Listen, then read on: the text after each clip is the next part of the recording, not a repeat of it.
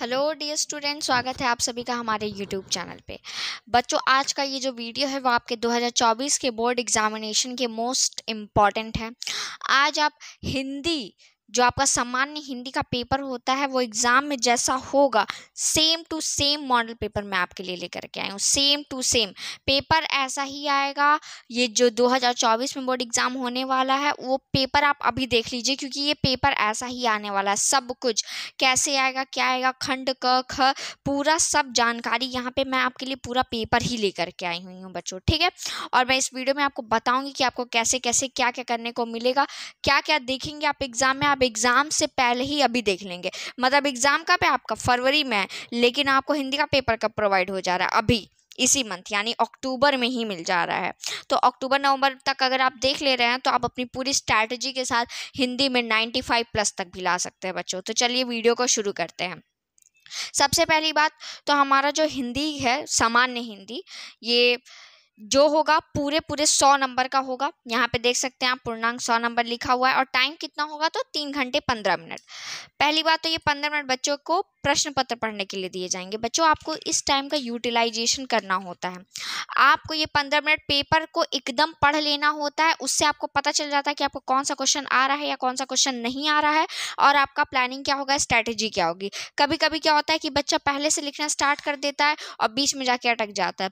वहीं अगर आप पूरा पेपर पढ़ लेंगे एक बार सरसरी निगाहों से तो कम से कम आपके दिमाग में इतना फाइनल हो जाएगा कि आपको कौन से क्वेश्चन पे ज़्यादा टाइम देना और कौन से क्वेश्चन पे कम टाइम देना है।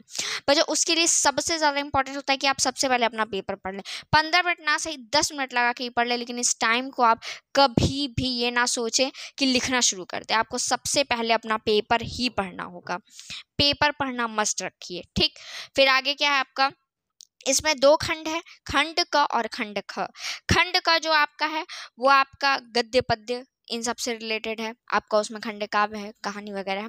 लेकिन जो खंड ख है आपका, उसमें आपका संस्कृत है, व्याकरण है, निबंध है, पत्र है, ये सब जितनी चीज़ें हैं, वो सब आपका खंड ख में आती हैं।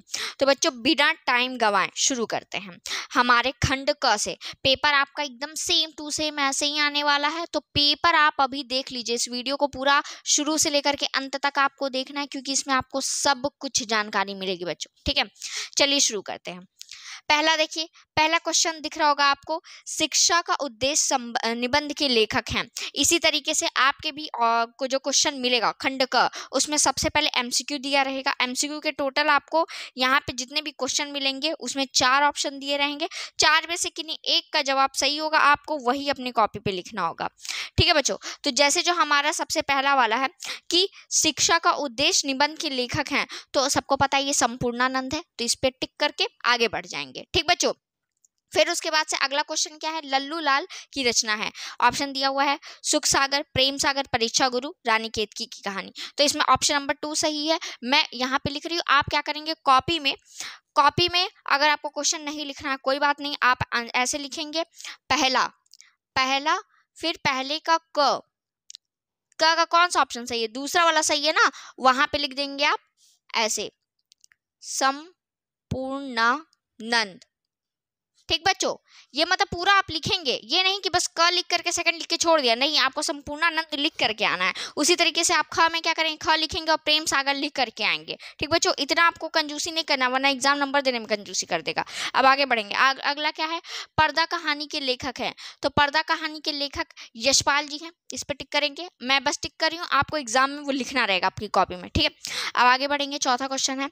अवारा मसीहा के रचनाकार हैं। तो आवारा वसीहा के रचनाकार विष्णु प्रभाकर जी हैं। टिक करेंगे, आगे बढ़ेंगे। वाण भट्ट की आत्मकथा के लेखक कौन है? वाण भट्ट की आत्मकथा के लेखक जो है, यहाँ पे देखिए चार ऑप्शन दिया हुआ है। हजारी प्रसाद द्विवेदी, सही ऑप्शन है। इस पर टिक कर देंगे। तो बच्चों, इस तरीके से टोटल आपके कितने क्वेश्चन खत्म हो गए? टोटल आपके पाँच क्वेश्चन खत्म हो गए। और अभी तक आपने जितने भी क्वेश्चन देखे हैं, वो सब आपके गद्य साहित्य से रिलेटेड पूछा गया था बच्चों। जो भी पाँचों क्वेश्चन होंगे, सबसे पहले खंड ख में, खंड क में जो पूछा जाएगा, वो क्या पूछा जाएगा? गद्य साहित्य से रिलेटेड एमसीक्यू होगा टोटल पाँच एमसीक्यू होंगे। अब उसके बाद जो अगला होगा, वो आपका जो होगा, वो पद्य साहित्य से रिलेटेड होगा, ठीक है? ये क्या था? आपका गद्य साहित्य से रिलेटेड था, इसके आगे आपका पद्य वाला होगा। तो बढ़ते हैं अगले पाँच क्वेश्चन की तरफ़। यहाँ पे देखिए, दूसरा नंबर। कामायनी किस युग की रचना है? तो कामायनी आपका छायावादी युग की रचना है। इस पर टिक करेंगे, आगे बढ़ेंगे। फिर अगला प्रश्न देखिए। निम्नलिखित कवियों में से प्रगतिवादी युग के कवि कौन से हैं? तो प्रगतिवादी युग के कवि रामधारी सिंह दिनकर जी है। इस पर टिक करेंगे, आगे बढ़ेंगे। अगला आपका है, बच्चों क्वेश्चन तार सप्तक का प्रकाशन वंश, वर्ष क्या है? तार सप्तक कौन से वर्ष में प्रकाशित हुआ था?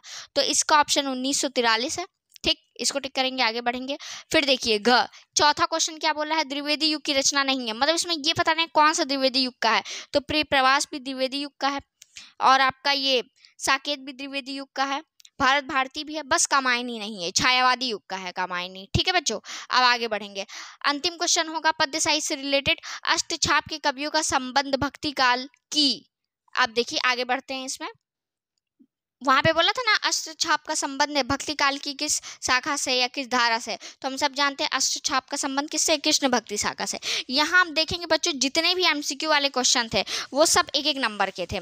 ये जो भी एमसीक्यू वाले क्वेश्चन आपने देखे हैं, ये सारे क्वेश्चन कितने मार्क्स के हैं बच्चों? तो ये सारे क्वेश्चन जो आपके हैं, वो एक एक मार्क्स के हैं। यानी कि ये सारे क्वेश्चन जो भी आप लाइन से देख रहे हैं, सब के नंबर यहाँ पे देखिए, आगे नंबर मैंशन है एक एक नंबर के हैं। तो टोटल अब तक कितने क्वेश्चन हो गए?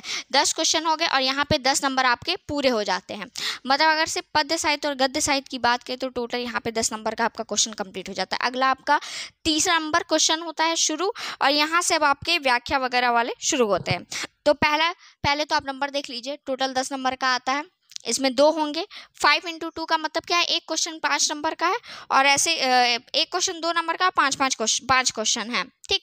तो पाँच दूनी दस दस नंबर का हो गया। अब देखिए, यहाँ पे सबसे पहले गद्यांश भाग से दिया दिया रहेगा कि आपको दो गद्यांश दिए रहेंगे। यहाँ पे देखिए, बीच में अथवा करके दिया हुआ है ना? अथवा का मतलब ये होता है, या तो पहले वाला करिए या तो आप दूसरे वाला करिए।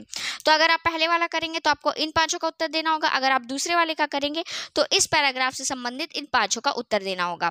अब जो भी आपको एग्ज़ाम में बचो बच्चों इसके लिए आपको ये करना है कि जो जो वाला आपको गद्यांश अच्छी तरीके से आ रहा हो, जिसके आपको रचयिता अच्छे से पता है, चैप्टर अच्छे से पता है आपको वही वाला करना है। ये नहीं कि थोड़ा सा भी जिसमें कन्फ्यूज़न वो वाला कर ले। ये नहीं, आपके पास ऑप्शन है तो उस ऑप्शन का भरपूर इस्तेमाल करिए।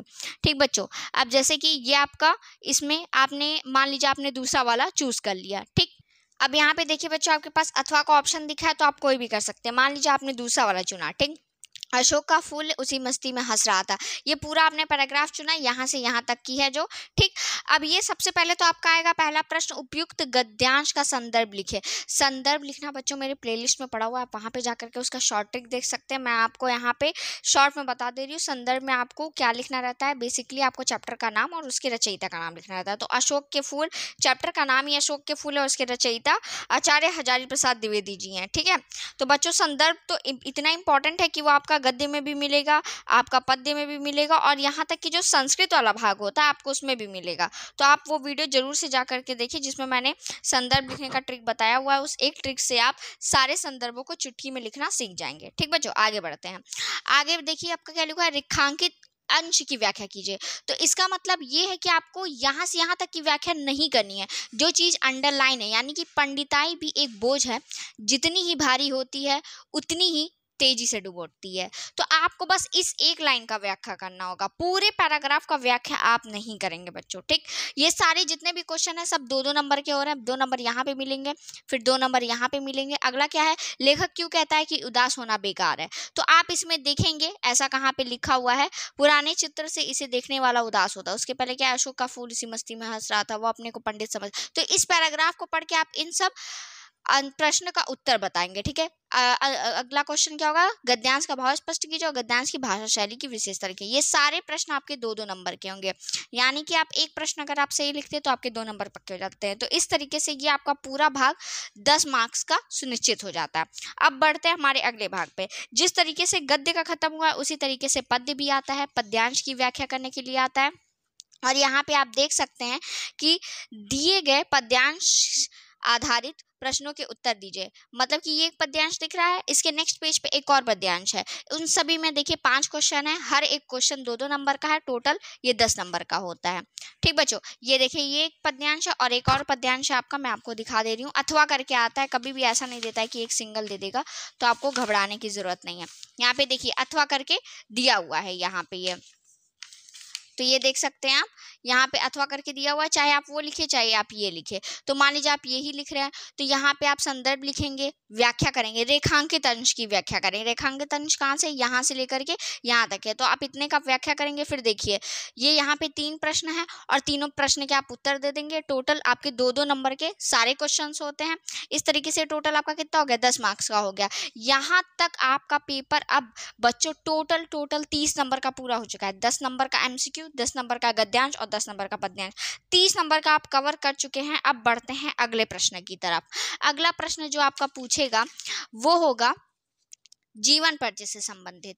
ठीक बच्चों, जीवन परिचय में भी आप जानते हैं, आपका आता है एक लेखकों का, जो कि गद्य भाग से होता है, और एक आता है आपके कवियों का।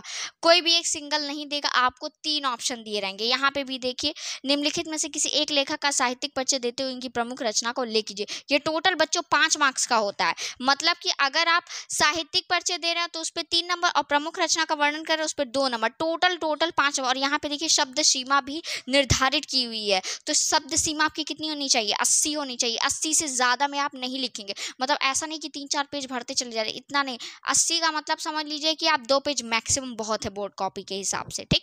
यहाँ पे मान लीजिए तीन है। तीन में से आपको जो अच्छे से तरीके से आ रहा है। ए पी जे अब्दुल कलाम आ रहा है, मिसाइल मैन ऑफ़ इंडिया, आप इन पे लिख दीजिए। आचार्य हज़ार आचार्य हज़ार प्रसाद द्विवेदी पे आ रहा है तो आप इन पे लिख दीजिए। जो आपको समझ में आए, उस पर लिखिए। लेकिन जो आपको अच्छे से आता हो, जिनकी रचनाएँ आपको अच्छे से पता हो, बच्चों, उसी को लिखिएगा, ठीक? मैंने जीवन परिचय पे भी एक वीडियो बना करके ऑलरेडी रखा हुआ इस वीडियो के बाद आप उस वीडियो को भी ज़रूर देखिएगा। अब देखिए, यहाँ पे आपके पाँच नंबर पूरे होने के बाद अगला क्या आता है? कवियों का। तो कवियों में देखिए, तीन ऑप्शन दिए हुए हैं। तीन में से किसी एक पे आप लिख लेंगे। वही है, पाँच नंबर और शब्द सीमा अस्सी है। यानी कि पाँच नंबर ऊपर के, पाँच नंबर नीचे के टोटल कितने हो गए दस नंबर। यहाँ तक बच्चों, आप देखिए आपका चालीस नंबर कवर हो चुका है पेपर का। चालीस नंबर बच्चों बहुत ही ज़्यादा इंपॉर्टेंट होता है। इतना अगर आपने कर लिया, आप पास हो चुके हैं आप समझ जाइए हिंदी के पेपर में। ठीक बच्चों, इतना करने के बाद ही अभी तो आपका आधा पेपर भी नहीं खत्म हुआ और चालीस नंबर भी खत्म हो चुके हैं। तो यहाँ तक का पोर्शन आपको अच्छे से समझ में आ गया होगा और कोई भी चीज़ें टफ नहीं थी, सब में आपको ऑप्शन गिवन थे। जो भी गद्य पद्य आपने देखा, फिर उसके बाद से रचना वाला देखा, फिर ये जीवन परिचय वाला देखा। अब हम बढ़ते हैं आगे अपने अगले प्रश्न की तरफ़, जो कि हमारा छठवां प्रश्न। ठीक है बच्चों? ये देखिए बच्चों, छठवा प्रश्न आपका क्या है? बहादुर अथवा पंचलाइट कहानी के उद्देश्य पर प्रकाश डालिए।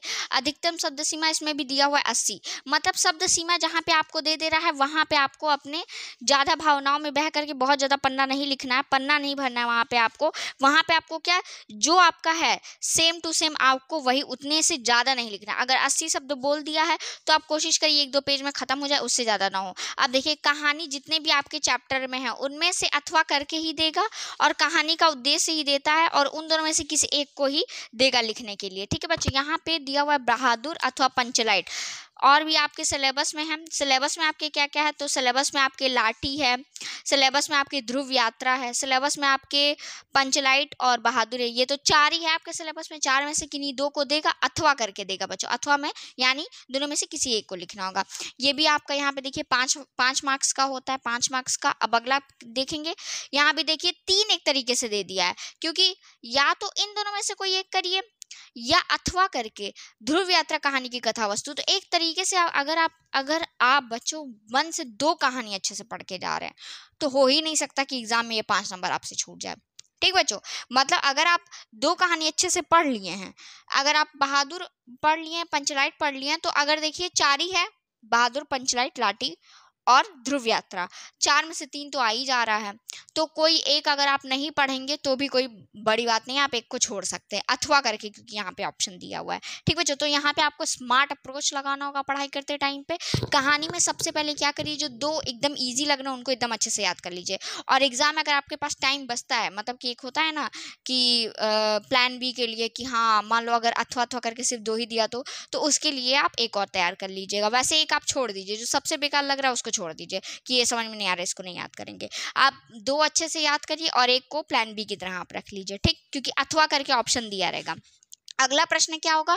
अगला प्रश्न जो होगा वो आपके खंड काव्य वाले भाग्य से होगा और इसमें भी अस्सी वर्ड की जो शब्द सीमा है वो निर्धारित होगी। और इसमें भी मार्क्स देखिए कितने हुआ? पाँच मार्क्स का ये भी है। पाँच मार्क्स का पहले वाला भी था, पाँच मार्क्स का ये भी है। इसमें भी अथवा करके पूछता है, अथवा करके देखिए इसमें क्या लिखा हुआ है? श्रवण कुमार खंड काव्य के नायक का चरित्र चित्रण कीजिए। और या फिर वो चरित्र चित्रण करने को आ जाता है या तो फिर क्या कर जाता है कि किसी एक खंड मतलब कि बहुत सारे चीज़ आपका जो सिलेबस होता है बच्चों खंड काव्य वाला, वो डिवाइड होता है मतलब वो रीजन के हिसाब से होता है। जैसे जो गोरखपुर है, उसमें अलग होगा, कानपुर में अलग होगा और आपके लखनऊ में अलग होगा, आजमगढ़ में अलग होगा तो सब रीजन के हिसाब से ये डिवाइडेड होता है। ठीक बच्चों तो ये जो आपका है, श्रवण कुमार है, उसका मैं आपको बता दे रही हूँ, ये कौन से रीजन से रिलेटेड है, आप उसी के हिसाब से देखेंगे। इसके ऊपर भी मैं एक वीडियो बना दूँगी, ताकि बच्चों को क्लियर हो जाए, ठीक? जैसे कि एक आपने सुना होगा, रश्मि रथी है, रश्मि रथी बच्चों आपका मुजफ्फरनगर, शामली बुंदलशहर मथुरा, वाराणसी, इन सबसे रिलेटेड है, त्यागपति है वो आपका गोरखपुर से रिलेटेड है, गोरखपुर, आगरा गाजीपुर, बरेली, ठीक? यहाँ पे देखिए आपको सारे मिलेंगे ऑप्शन में अथवा अथवा करके सब मिलेंगे। यहाँ पे देखिए, श्रवण कुमार, रश्मि रथी, मुक्ति यज्ञ, त्यागपति त्यागपति, ये गोरखपुर, आगरा, बरेली, सुल्तानपुर, लखीमपुर, गोंडा, इन लोगों के लिए है। फिर आलोक वृत्त सत्य की जीत मतलब जो आपके रीजन का है, वही आपको लिखना है। अब जैसे मान लीजिए जो गोरखपुर का बच्चा है वो इस चौथे वाले क्वेश्चन को अटेम्प्ट करेगा। चौथे वाले क्वेश्चन में भी देखिए उसके पास अथवा वाला ऑप्शन दिया हुआ है। या तो वो कथा वस्तु संक्षेप में लिख सकता है या फिर हर्षवर्धन की चरित्र चित्रण को लिख सकता है। मतलब उसके पास ऑप्शन है, वो दोनों में से कोई भी एक कर सकता है। तो उसी तरीके से जो आपके रीजन का होगा, आपको भी उस वाले प्रश्न पे जाना और अथवा वाले ऑप्शन में से किसी एक को कर लेना बच्चों। ठीक? अब देखिए आगे बढ़ेंगे। अब यहाँ पे आपका खंड क समाप्त हो चुका है। यहाँ पे देखिए अब अगला खंड ख शुरू हो गया है। तो यहाँ पे खंड क समाप्त हो चुका है। आपने साफ़ साफ़ देखा एमसीक्यू आपका कितने नंबर का था बच्चों? दस नंबर का था।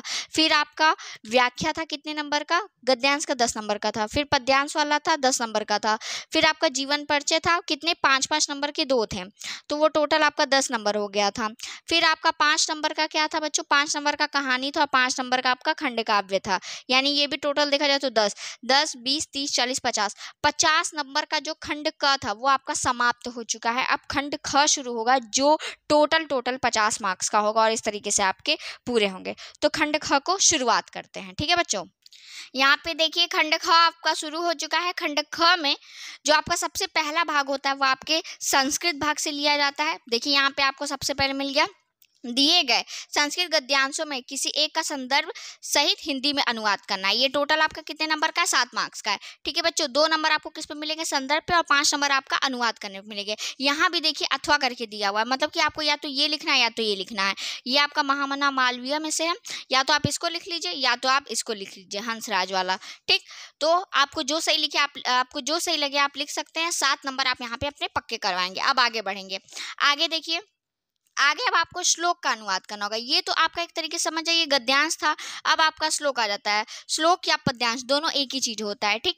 संस्कृत में श्लोक ही बोलते हैं, पद्यांश भी बोल सकते हैं, जो आपका मन करे। यहाँ पे देखिए संदर्भ सहित हिंदी में अनुवाद करना होगा। संदर्भ पे आपको दो नंबर मिलेंगे और व्याख्या करने पर पाँच नंबर, यानी टोटल ये भी सात नंबर का हो जाता है।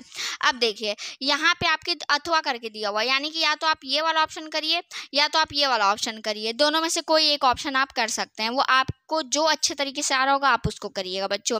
अब यहाँ पे देखिए तो आपका इन्हीं दोनों को मिला करके टोटल चौदह नंबर का यहाँ पे खत्म हो चुका है। संस्कृत भाग से टोटल चौदह नंबर का क्वेश्चन आता है, यहाँ पे चौदह नंबर फिनिश हो चुके हैं खंड खा में। अब आगे बढ़ते हैं नौवें क्वेश्चन पे। नौवा क्वेश्चन आपका मुहावरा से संबंधित होता है। मुहावरे में भी किसी एक को करना रहता है बच्चों, सारे को नहीं करना, आपको किसी एक को करना रहेगा। तीन ऑप्शन दिए रहेंगे, यहाँ पे देखिए तीन दिया हुआ है। दाल में काला होना टका सा जवाब देना, तलवार की धार पर चलना। तो इन तीनों में से किसी एक को जो आपको अच्छे से आ रहा होगा, उसका अर्थ लिखिएगा और अर्थ लिख करके उसका वाक्य में प्रयोग कर दीजिएगा। ठीक है बच्चों, अब आगे बढ़ेंगे प्रश्न नंबर दस पे। प्रश्न नंबर दस तो मुहावरा टोटल आपका दो नंबर का था, ऑप्शन कितने दिए गए थे? चार दिए गए थे। चार में से कि नहीं आप एक को कर सकते हैं, जो आपको अच्छे से आए। और ऐसा होगा कि नहीं, चार में से एक आपको आना रहा हो आज ज़रूर आएगा, आप कर सकते हैं। ठीक बच्चों, यहाँ पे आपके दो नंबर पूरे हो जाते हैं। अब देखिए आगे, दसवां क्या है? अपठित गद्यांश के आधार पर निम्नलिखित प्रश्नों का उत्तर दीजिए। मतलब ये क्या होता है बच्चों की इसमें एक अनसीन पैसेज देता है, जिसको जो आपके सिलेबस में कहीं आपको नहीं मिलेगा, वो ऐसा रैंडम ही दिया जाता है। वो बच्चों को, उसको उसी टाइम दिखा जाता है और उसी में से पढ़ करके प्रश्नों के जवाब देने होते। हैं अपठित का मतलब यही हुआ कि वो आपके सिलेबस में कहीं आपको नहीं दिखेगा। और बस आपको उसी टाइम पढ़ना और उसका जवाब देना। उसके लिए देखिए आपको टोटल यहाँ पे दो नंबर के दो क्वेश्चन और एक नंबर का एक क्वेश्चन। मतलब टोटल पाँच नंबर का देखा जाए तो ये होता है। इसमें भी ऐसा नहीं है कि आपको सिर्फ़ एक ही मिलता है। यहाँ भी देखिए अथवा करके आया हुआ है। अथवा करके आया है, इसका मतलब ये है कि एक ऑप्शन और मिलेगा। आप इन दोनों में से जिसका भी आंसर सही तरीके से ढूंढ सकते हैं उसका ढूंढ लीजिए और उसका देख करके लिख दीजिएगा सवाल जवाब। ठीक है बच्चों, ये भी पाँच ही नंबर का होगा। मतलब कि आप दोनों में से कोई भी करते हैं, नंबर फिक्स है, पाँच नंबर के होंगे, तीन क्वेश्चन होंगे दो दो नंबर के दो क्वेश्चन और एक नंबर का इकलौता क्वेश्चन बच्चों। तो यहाँ अगर आप करेंगे तो पाँच नंबर आपके पक्के हो जाएँगे। यहाँ तक आप जो भी पेपर दिखा रहे हैं बच्चों, मैक्सिमम क्वेश्चन आपको अथवा अथवा करके मिल जा रहे हैं या ऑप्शन करके मिल जा रहे हैं। मतलब क्या है मतलब बहुत बड़ा बेनिफिट आप लोगों के लिए कि एक चीज़ नहीं दिया हुआ है। यहाँ पे आप अपने इंटरेस्ट के हिसाब से अपने नॉलेज के हिसाब से चीज़ों को लिख सकते हैं। तो ऐसा नहीं है कि हिंदी के पेपर में नाइन्टी फाइव आप स्कोर नहीं कर सकते। अगर चाहे तो बहुत ही आसान है नाइन्टी फाइव प्लस स्कोर करना। बस आप क्या करिए पेपर को करने का जो अप्रोच है ना, उसको सही तरीके से करिएगा। अभी आज अगर ये पेपर आप देख ले रहे हैं तो आपको एग्ज़ाम के चार महीने, तीन महीने पहले पता चल जा रहा है कि पेपर आने वाला कैसा और पेपर ऐसे ही आएगा, आप लिख करके ले लीजिए। पेपर अगर आपको आज ही पता चल गया, आपको आज ही से अपना अप्रोच पता चल गया कि आपको क्या करना है, कैसे करना है तो वहाँ पर जो टाइम वेस्ट होने वाला था अप्रोच देखने का, वो टाइम वेस्ट नहीं होगा। वही टाइम आप अपने लिखने में लगाएँगे, सोचने में लगाएँगे आंसर को बेहतर करने में लगाएँगे और पेपर आप फोड़ करके आएँगे नाइन्टी फाइव प्लस लेकर के आएँगे। ठीक बच्चों, अब बढ़ते हैं अगले प्रश्न पे, जो कि हमारा ग्यारहवा प्रश्न है। यहाँ से एक एक नंबर के स्टार्ट होते हैं, जो कि वाक्य में अशुद्धियाँ वर्तनी ये सबसे संबंधित होता है। देखिए, जैसे कि ग्यारहवा क्वेश्चन क्या दिया हुआ है? निम्नलिखित शब्द, युग्मों का सही अर्थ चयन करके लिखे। मतलब कि दो शब्द दिए होंगे और दोनों थोड़े से सिमिलर होंगे, देखने में, सुनने में, पढ़ने में, लेकिन दोनों के अलग अलग व्यर्थ होंगे, ठीक? जैसे कि आपका दिया हुआ है कि इनमें से किसी एक का आपको लिख देना है। यहाँ पे देखिए वसन व्यसन। अब यहाँ पे चार ऑप्शन दिए हुए हैं। चार ऑप्शन में से जिसका आपको लग रहा है कि हाँ ये ऑप्शन सही है, उसका आपको टिक लगाना है। यहाँ पे चार ऑप्शन दिए विवश और व्याकुल, कवच और भोजन, वस्त्र और आदत, विस्तार और अवधि। ठीक? फिर अगला आपका क्वेश्चन क्या दिया हुआ है? अम्बुज और अम्बुद। तो इसी तरीके से आपको यहाँ पे लगभग लगभग दो क्वेश्चन दिए रहते हैं। उनमें से आपको जो सही ऑप्शन है वो लिख देना रहता है। ठीक है बच्चों? अब अगला आपका ख क्वेश्चन है। निम्नलिखित शब्दों में से किसी एक शब्द का दो अर्थ लिखिए। एक तरीके से ये सिनोनिम वाला पार्ट होता है, समानार्थी वाला पार्ट होता है। किसी एक शब्द को छाटिए, जैसे कि आपने विधि छाट ली तो विधि का क्या होता है? कानून होता है या फिर नियम होता है। दो हो गया, बस खत्म, आपको दो नंबर मिल गए यहाँ पे। ऊपर भी आपने दो सही कर लिया, दो नंबर यहाँ भी मिल गए, ठीक? तो ये चार हो गए। अब देखिए आगे, निम्नलिखित वाक्यांशों के लिए एक शब्द का चयन करके लिखे एक शब्द का यहाँ पे भी ऑप्शन दिया, जो आँखों के सामने हो। नेत्र सम्मुख, प्रत्यक्ष आँखों के आगे या प्रत्येक आँख। तो इसका प्रत्यक्ष ही होता है, जो आँख के सामने हो, ठीक? अब देखिए, जानने की इच्छा रखने वाला तो जानकार, ज्ञानी, जिज्ञासु या बुद्धिमान तो जिज्ञासु होता है, जो, जानने की जो इच्छा रखता है उसको जिज्ञासु बोला जाता है, बच्चों। तो यहाँ पे भी एक नंबर कन्फर्म यहाँ पे भी एक नंबर कन्फर्म आप देख रहे हैं, ये छोटे छोटे होते हैं, एकदम दो दो सेकंड तीन तीन सेकंड में आप लिख करके हटा देंगे, आपके एक एक दो दो नंबर आपकी झोली में आ जाएँगे। अब बढ़ते हैं आगे। इस टाइप में एक और क्वेश्चन आपका आता है देखिए, निम्नलिखित में से किन्हीं दो वाक्यों को शुद्ध करके लिखें। ऑप्शन कितने दिए हुए बच्चों? ऑप्शन दिए हुए हैं चार। लिखना कितना है बच्चों आपको? लिखना है सिर्फ़ दो। नंबर कितने? नंबर हैं आपके दो। तो आप देखिए, तुम तो कुर्सी पर बैठे हैं। तो ये क्या हो जाएगा? तुम तो कुर्सी पर बैठे हो। ये सही हो जाएगा। ठीक है? इस सरोवर में अनेकों कमल खिले हैं। इस सरे, इस सरोवर में अनेकों कमल खिलते हैं। ठीक? सम्मेलन में कवित्री ने भाग लिया है। सम्मेलन में कवित्रियों ने भाग लिया या जो आपको सही लगे आप लिख सकते हैं। ठीक है, बच्चों, सिर्फ़ दो ही लिखना रहता है तो ज़्यादा टेंशन करने की ज़रूरत नहीं, जो सही लगेगा आप वो लिखिए। फिर देखिए, अगला पार्ट है आपका। अगला पार्ट जो आपका होता है, वो रस, छंद, अलंकार से होता है। टोटल छः मार्क्स का होता है, दो नंबर रस से, दो नंबर छंद से और दो नंबर अलंकार से। ठीक बच्चों, यहाँ पे भी अथवा करके ऑप्शन दिया रहता है। ये देखिए, सब में अथवा अथवा अथवा लिखा हुआ है। पहला रस से वीर रस या हास रस। इन दोनों में से जो सही से आ रहा होगा, जिसका आपको उदाहरण सही से आ रहा होगा, आप वो लिख करके खत्म करेंगे। फिर देखिए, अलंकार में श्लेष व उत्प्रेक्षा, जो आपको अच्छे से एग्ज़ाम्पल के साथ आ रहा होगा, वो लिखेंगे। फिर देखिए, छंद में भी दोहा सोड़ता। सब में अथवा करके दिया हुआ है तो घबराने की कोई ज़रूरत नहीं है। आप चाहेंगे तो आपका जो सिलेबस है उसमें से एक रिड्यूस कर दीजिएगा, बाकी सब पढ़ लीजिएगा। एग्ज़ाम में अगर वो आ गया तो अथवा करके तो आएगा ही आएगा। तो आप उसको मत लिखिएगा, छोड़ दीजिएगा, दूसरे वाले को लिख लीजिएगा। ठीक बच्चों, अब ये देखा जाए तो यहाँ पे आपके छः नंबर कंप्लीट हो गए। अगला जो है आपका वो तेरहवा क्वेश्चन होता है और ये सेकंड लास्ट क्वेश्चन है, क्योंकि उसके बाद एक और क्वेश्चन फिर आपका पेपर खत्म होता है। देखिए, तेरहवा क्वेश्चन में आपका क्या दिया हुआ है? आवेदन पत्र प्रार्थना पत्र। ठीक, यहाँ भी आपका अथवा करके ऑप्शन रहता है। अथवा करके आपको ऑप्शन मिलेगा, आपको जो सही से आ रहा होगा पत्र लिखने में, आप वो वाला ऑप्शन चूज़ कर लीजिएगा। जैसे पहला लिखा हुआ है, बैंक में खाता खोलने के लिए बैंक प्रबंधन को आवेदन या प्रार्थना पत्र दूसरा क्या लिखा हुआ है, शहर में फैली संक्रमण बीमारी की तरफ़ जिला अधिकारी का ध्यान आकर्षित करने के लिए आवेदन पत्र या प्रार्थना पत्र। तो पहला तो एक तरीके से समझ जाइए काम करवाने के लिए, और दूसरा क्या ध्यान आकर्षित करने के लिए। तो जो आपको अच्छे तरीके से आ रहा हो, अच्छे तरीके से समझ में आप लिख पाए आप उस ऑप्शन को चूज़ करके लिख लेंगे। ये टोटल आपका होता है बच्चों छः नंबर का। दो नंबर जो होता है वो आपका जो मेन ऊपर का पार्ट होता है जिसमें आप एड्रेस वगैरह लिखते हैं वो सब पे होता है और चार नंबर आपके बॉडी वगैरह पे होता है जो आप क्या कंटेंट लिख रहे हैं। ठीक बच्चों? तो ये टोटल छः नंबर का आपका कंप्लीट हो जाएगा।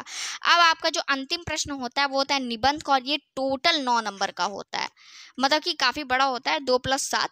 ये एक तरीके से दो होता है आपकी रूपरेखा पे, जिसमें आप प्रस्तावना, प्रकार और ये उदाहरण, फिर उपसंहार, ये सब पूरा लिखते हैं, वो सब होता है। और सात नंबर आप उस पर क्या कंटेंट लिख रहे हैं, इस चीज़ पे होता है। तो ये जो प्रस्तावना, प्रकार, उदाहरण, ये सब तो जो रूपरेखा बना है, वो ज़रूर लिख दें। उस पर आपको नंबर एग्जामिनर तुरंत दे देगा। निबंध कोई भी लिखिए, आप चीज़ों को हाईलाइट करिए। हाईलाइट करने का मतलब क्या है? मान लीजिए आप कुछ लिख रहे हैं और बस ऐसे अंडरलाइन कर दीजिए, ऐसे। अंडरलाइन करने का मतलब वो हाईलाइट हो गया। एग्जामिनर की नज़र उस पर जाएगी, वो उसको देख लेगा, बात खत्म। अब देखिए, यहाँ पे भी आपको ऑप्शन मिलेंगे। यहाँ पे देखिए कितने ऑप्शन मिलते हैं। यहाँ पे आपको पाँच ऑप्शन मिलते हैं बच्चों। पाँच में से आप किसी एक को करना है। देखिए, पहला ऑप्शन क्या है? देश में बेरोजगारी की समस्या, आतंकवाद की समस्या, समाधान, वृक्षारोपण का महत्व या फिर लास्ट के दो क्या है? विद्यार्थी और राजनीति या देश की समृद्धि और विकास में समाचार पत्रों की भूमिका। तो मान लीजिए आप यही कर लीजिएगा। सबसे आसान, देश में बेरोजगारी की समस्या। या फिर वृक्षारोपण, जो आपको आसान लगे, जो आपको लग सकता है कि आप अपने शब्दों में अच्छे तरीके से लिख सकते हैं। तो बच्चों, इस वीडियो से आपको समझ में आ गया होगा कि हिंदी का सैंपल पेपर कैसा, ये हिंदी का जो पेपर है, वो आपका कैसा होगा, कैसा आने वाला है दो हज़ार चौबीस की बोर्ड परीक्षा के लिए। आई होप आपको वीडियो पसंद आई होगी। जैसा लगा होगा प्लीज़ मुझे कमेंट्स में बताइएगा ताकि मैं और सब्जेक्ट्स को लेकर के भी ऐसी वीडियो बना सकूँ। और अगर आपको जिस सब्जेक्ट की वीडियो चाहिए होगी, उसको भी ज़रूर मैंशन करिएगा कि मैम इस चीज़ की भी वीडियो बनाइए। ठीक है बच्चों थैंक यू सो मच